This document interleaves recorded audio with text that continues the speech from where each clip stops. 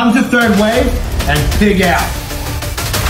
At Third Wave, we slow smoked an entire pig. And for one time only, we are going to bring it out and carve it in front of you, where you get to try all the different parts of the pig.